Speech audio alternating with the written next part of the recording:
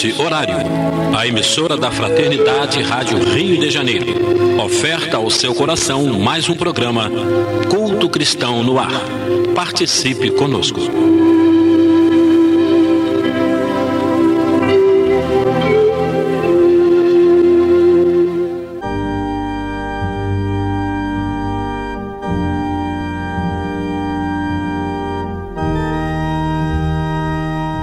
Queridas irmãs, queridos irmãos, aqui estamos mais uma vez reunidos em torno deste Evangelho, este livro tão querido que nos convida a analisarmos sobre a nossa vida, sobre a nossa relação com Deus e com o nosso próximo.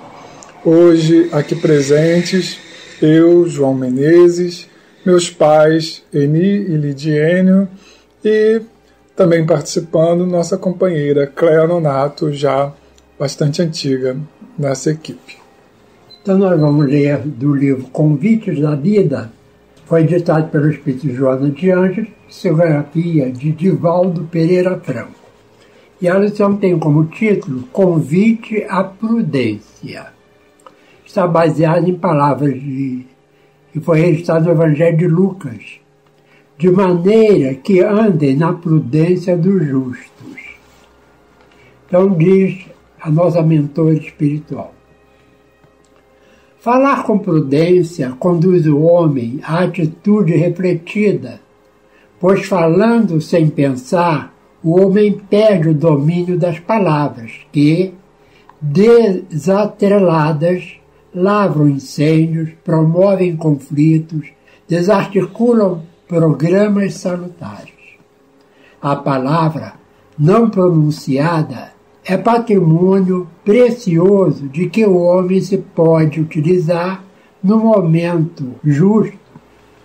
A palavra liberada pode converter-se, quando dita sob impropérios, em látego que volta a punir o irresponsável que a libera. A ação precipitada, sem a necessária prudência, invariavelmente engendra desacertos e aflições sem nome, conduzindo o aturdido ao despenhadeiro do insucesso em cuja rampa o remorso chega tardio. Antes de agir, o homem é depositário de todos os valores que pode investir após a ação, colhe os resultados do ato. Agir, portanto, através da ponderação, a fim de que a atitude não se converta em algoz que escraviza o próprio instrumento. Pensar prudentemente. Uma palavra que nos chega aos ouvidos feridos conduz a uma posição exaltada, impedindo, em consequência, a perfeita ordenação mental, que assim nos induz, através de ângulos falsos da observação perturbada, a resultante da moda. Pensar refletindo predispõe a ouvir, acostumando-se a ver, criando o hábito de ponderar para, então, chegar às legítimas conclusões em torno dos veros problemas da vida. Precipitado, Napoleão conquistou a Europa e, refletindo, meditou tardiamente nos erros cometidos em Santa Helena. Concluindo pela supremacia da força, Alexandre Magno dominou o mundo e febres estranhas tomaram-lhe o corpo jovem antes das reflexões de que muito necessitara. Com a prudência, Jesus pensou, falou e agiu, construindo praticamente surge um reino de venturas plenas que a pouco e pouco, não obstante a precipitação destes ou daqueles apaliguados do mundo, vai fixando em seus alicerces um imo dos homens, como bandeira de paz e de esperança para a humanidade inteira na direção dos milênios. Prudência, pois, como atitude de santificação interior. E assim, Senhor, com essa lição de Joana de Ângeles, nós tomamos consciência da importância da prudência em nossas vidas, de nos tornarmos seres conscientes e não apenas seres que vivem por viver do piloto automático, que possamos nós termos a consciência de cada ato que praticamos, de cada pensamento que emitimos, de cada palavra que falamos. E assim, Senhor, que não sejamos nós motivo de escândalo para o nosso próximo. Abençoa-nos hoje e sempre, abençoa a nossa reunião e a todos que estão em seus lares e seus ambientes de trabalho ou em qualquer outro ambiente nos acompanhando. Fica conosco, Senhor, hoje e sempre, e que assim seja. Nós vamos estudar o Evangelho, o capítulo é o 8. O item 11, vamos começar intitulado Escândalos. Se a vossa mão é motivo de escândalo, cortai-a. Se algum escandalizar a um destes pequenos que creem em mim, melhor fora que lhe atassem ao pescoço uma dessas mós que um asno faz girar e que o lançassem no fundo do mar.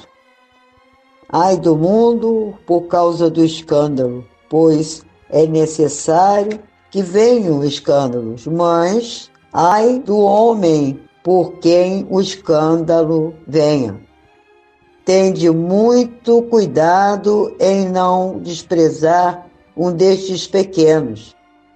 Declaro-vos que seus anjos no céu veem incessantemente a face de meu Pai que está nos céus, porquanto o Filho do Homem veio salvar o que estava perdido. Se a vossa mão ou o vosso pé vos é objeto de escândalo, cortai-os, lançai-os longe de vós. Melhor será para vós que entreis na vida tendo um só pé ou uma só mão, do que tendes dois e sedes lançados no fogo eterno. Se o vosso olho vos é objeto de escândalo, arrancai-o e lançai-o longe de vós. Melhor para vós será que entreis na vida tendo um só olho do que tedes dois e sedes precipitados no fogo do inferno. São Mateus 18 a 6 e 11. Nós vamos agora a uma explicação aqui. É, a boa conduta do ser humano evita que ele se escandalize. O ato de bem proceder coopera para evitar o escândalo, quer seja no recinto familiar, numa reunião de amigos, numa casa de oração.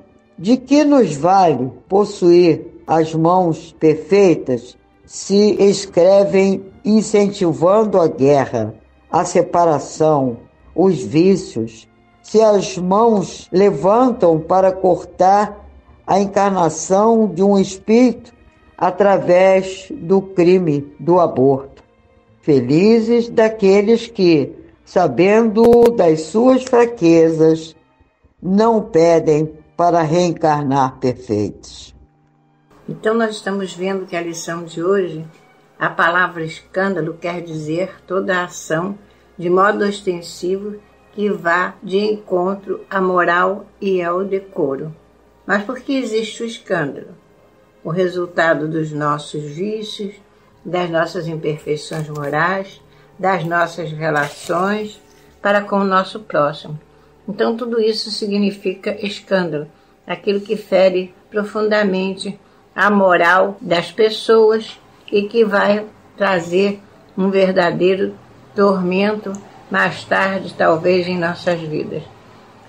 Então, nós vemos assim, um, antigamente, quando as mulheres tinham mais senso em se vestir, uma pessoa que botasse um traje que chamasse atenção demasiado, era um escândalo, né? Uma traição conjugal também era uma outra coisa que antigamente era uma coisa muito séria. E hoje em dia nós ainda estamos a braço com a corrupção que vemos imperando em todo o nosso país. E a omissão diante dos problemas é realmente um escândalo que nós precisamos estar atentos para não estarmos nos enganjando nessa situação. Jesus é bem severo quando se trata desse aspecto. E quando diz: Mas ai daquele pelo qual o escândalo venha, porque terá conta a ressarcir, e diz mais: que será melhor que cortássemos nossas mãos e os nossos pés, porque é uma coisa que não vai nos levar a nada, só mesmo mostrar a nossa imperfeição. É, lembrando que juntando aqui o texto que foi lido, né, que a Eni comentou, e a mensagem inicial, né, se todos agissem com prudência, a gente teria um número de escândalos bem menor. Né, porque se a gente pensar antes de agir, pensar antes de falar, nós estamos peneirando o que vai sair de nossa boca e, consequentemente, a gente vai acertar um pouco mais. Ainda sobre essa leitura inicial do trecho que é do Evangelho, eu gostaria de ressaltar o primeiro parágrafo aqui, que fala assim: Se algum escandalizar a um desses pequenos que creem em mim, a gente vê a importância do nosso exemplo e daquilo que a gente faz para com as crianças. E a gente vê hoje no, na sociedade uma falta de responsabilidade muito grande com a educação dos pequenos. Não só no seio familiar, aqueles que têm a primeira missão de educar, mas também nos grandes veículos de comunicação, nas escolas também. Né? A gente percebe que as televisões já foram muito mais educativas no passado. Né? Hoje elas estão muito mais deseducativas do que educativas. Né?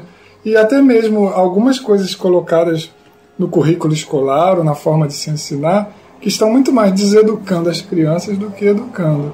E Jesus é severo aqui, como disse minha mãe, né, dizendo que se algum escandalizar um desses pequeninos, né, melhor fora que lhe atassem ao pescoço uma dessas mós. O que, que é mó? Era uma pedra redonda que se usava para moer antigamente, né? Você colocava num eixo, né? E, e você colocava uma pedra muito pesada e lançasse aquela pessoa. Claro que é uma figura de linguagem, né? Jesus não faria isso, mas ele precisava ele impactar estava, as pessoas. Ele estava incitando ninguém ao suicídio. É. Né? é, isso aí.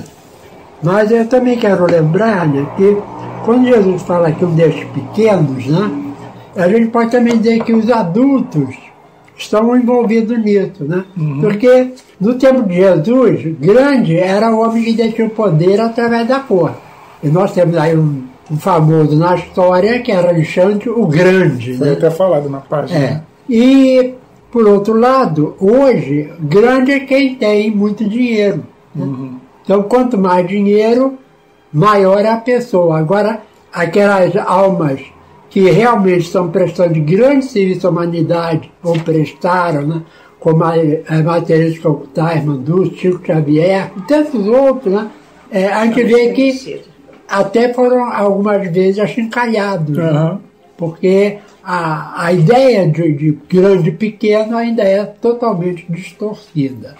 A própria figura de Jesus muitas vezes é tão ridicularizada por algumas hum. pessoas hoje em dia, né? querendo manter o princípio da, da liberdade de expressão, né? as pessoas fazem coisas que desrespeitam a grande maioria da população que tem Jesus como guia e modelo ou como salvador, dependendo da, da forma de interpretação. Mas que deveria haver um respeito muito maior né, de todas essas pessoas, em geral. Pessoas que pregam respeito e ao mesmo tempo desrespeitam a crença dos outros. E você falou, inclusive, em escola, João. O Augusto Cury, se eu não me engano, no volume daquela coleção que fala de Jesus, mestre dos mestres, fala que a filosofia, a, a psicologia e a pedagogia ainda estão no, na idade da pedra, porque não colocaram Jesus como figura principal de modelo para todos nós. Então, é realmente isso. A gente vê que numa faculdade, se falar em Jesus, às vezes o professor é capaz de responder processo. Né? Então nós estamos vendo com isso que o, o mal que ainda estamos fazendo às nossas crianças, por não apresentar a eles o nosso Jesus, o nosso mestre, amigo, como aquela figura que deveria ser o um modelo. Muitas vezes a criança gosta dessas figuras que se apresentam, né? Como super-homem, super super né? Mostra um super-homem diferente daquele de, que deveria mostrar. Em vez de mostrar Jesus como esse modelo e guia, como esse super-homem que a gente devia realmente respeitar, e no entanto não tem feito isso. E é por isso que às vezes a gente escandaliza uma criança quando não apresenta Jesus como esse modelo e guia. E são, hoje em dia nós vemos coisas, aberrações com relação à educação da criança, que muitas vezes nos deixa triste, porque a criança ainda tem um pingo de inocência no seu íntimo, ela ainda é infantil, mas com contato com o ser humano que não é evangelizado, ela acaba se perdendo também, né? Uhum. Vamos ler um trecho aqui da explicação de Kardec com relação a essa palavra escândalo. No sentido vulgar, escândalo se diz de toda ação que de modo ostensivo vá de encontro à moral ou ao decoro. O escândalo não está na ação em si mesma, mas na repercussão que possa ter. A palavra escândalo implica sempre a ideia de um certo arruído. Muitas pessoas se contentam em evitar o escândalo, porque este lhes faria sofrer o orgulho, lhes acarretaria perda de consideração da parte dos homens. Desde que suas torpezas fiquem ignoradas, é quanto basta para que se lhes conserve em repouso a consciência. São, no dizer de Jesus, sepulcros branqueados por fora, mas cheios de podridão, vasos limpos no exterior e sujos no interior. No sentido evangélico, a acepção da palavra escândalo, tão a miúde empregada, é muito mais geral, pelo que, em certos casos, não se lhe apreende o significado. Já não é somente o que afeta a consciência de outra, é tudo o que resulta dos vícios e das imperfeições humanas. Toda a reação má de um indivíduo para outro, com ou sem repercussão. O escândalo, nesse caso, é o resultado efetivo do mal moral. Então, aqui nessa primeira parte, a gente tem a questão da hipocrisia que nós vivemos, né? Ou seja, se ninguém descobre, então não tem mal nenhum de eu fazer. A gente só está preocupado quando as pessoas descobrem, porque aí aquela nossa imagem de bonzinho fica arranhada. Né? Mas se a gente está cometendo alguns erros que não são descobertos, então para nós não é esse escândalo. É, Emmanuel fala que a maior crise que o mundo atravessa não é financeira, não é educativa, nem nada, é uma crise moral. E é verdade, porque é dessa crise moral que é, dá, é origem a todas as outras crises. É a falta de moral. E aí vem o Evangelho mostrando que o escândalo, na verdade, é muito mais do que isso. Né? O nosso próprio pensamento, mesmo que ninguém saiba o que estamos pensando, ele já é motivo de escândalo. Né? Porque Deus sabe tudo que vai no nosso íntimo, tudo que a gente pensa. E as consequências vêm para nós mesmos. Os nossos pensamentos negativos, eles atraem outros pensamentos negativos, atraem outras criaturas encarnadas ou desencarnadas por sintonia que vão se ligar a nós. Então não pensemos que o simples fato de pensar está livre de ser considerado um escândalo, porque os nossos pensamentos são força, são energia também. E até a questão do adultério, né? Quando um homem olha para uma mulher de maneira maliciosa, ele já está fazendo um escândalo, né? É, foi é um, um escândalo. dos itens que a gente leu, né? É. E que a gente tem que prestar atenção no nosso pensamento, porque ele tem a é uma força geradora de outros males, né? Aí vem uma parte que é interessante, que é preciso que a gente entenda melhor. É um pouco assim mais, a gente precisa se aprofundar um pouco mais no sentido, né? Que é essa segunda parte aqui. Né? É preciso que haja escândalo no mundo, disse Jesus, porque imperfeitos como são na terra, os homens se mostram propensos a praticar o mal e porque árvores mais só frutos maus dão. Deve-se, pois, entender por essas palavras que o mal é uma consequência da imperfeição dos homens, e não que haja para estes a obrigação de praticá-las. Né? Então, essa, quando a gente lê essa, essa frase de Jesus, é preciso que haja escândalo no mundo, a gente se questiona, né? Então, será que é preciso que a gente pratique o mal? Não, mas aí ele vem dizer que não, que o mal simplesmente é consequência ainda da nossa imperfeição. E depois ele vai continuar dizendo que ai daquele por quem venha o escândalo. Às vezes o escândalo é necessário para que a gente faça até com que a própria pessoa que pratica caia em si. Então é necessário que às vezes aquilo se torne público, muitas vezes a pessoa vai passar por uma situação vexatória, né, mas que ela vai se transformar a partir daquilo. E o livro dos Espíritos, ele, quando fala do assunto, né, ele esclarece que a gente só deve tornar público quando o coletivo foi afetado. Né? Mas se a pessoa comete um deslize qualquer que só prejudica ele ou alguma coisa assim mais restrita, né? Quem deve sempre tentar esclarecer a pessoa, mas não estar é, alardeando o que ele fez, né? Uhum. Porque isso não constrói nada. E a gente vê hoje que, através dessas redes sociais, são divulgados certos escândalos quando a gente vai ver a notícia é falsa, não é verdadeira. E aí quem divulgou é que é o motivo de escândalo. É, né? exato. Né? E nós vemos aí na história, na nossa história, né, que o maior escândalo que aconteceu em toda a época da humanidade foi a crucificação de Jesus, né? Uhum. E foi a condenação de um justo e que deverá ser meditado bastante em nossos corações, porque Jesus sofreu por nós, assim como dizem, né? Por nossa causa. Por né? nossa Não causa, né? Para nos livrar, mas para. Para ajudar com que pudéssemos compreender, né? Que o seu, sua vinda à Terra foi realmente uma necessidade para que o homem se tornasse melhor. Então nós vamos agora ler do livro Cantigas de Vida, nosso companheiro Custódio Beiral, porque ele fala aqui sobre o assunto, né, sobre essa parte do Evangelho. Outrora nos tribunais, os antigos malfeitores, as sentenças corporais castigavam transgressores, e a solução marca passo que o criminoso, afinal, morto a tiros ou a laço, é também alma imortal. Flagelar que heresia se Deus não quer sacrifícios, quer amor, paz e harmonia como forma de silício. Se não pode semear, remove então o detrito, que possa escandalizar e dar causa a novo atrito. Exercita a caridade esse buril remissor, sentirá na intimidade Deus contigo no labor. De tudo dito a respeito, não é demais repetir que a pureza dá direito de mais acima subir. E assim, Jesus, chegamos ao fim do nosso culto na noite de hoje. Esperamos que a tua presença se faça em todos os corações, que tenhamos paz de espírito e a certeza de que tu estás no comando e que a nossa vida segue o rumo que a cada um pertence.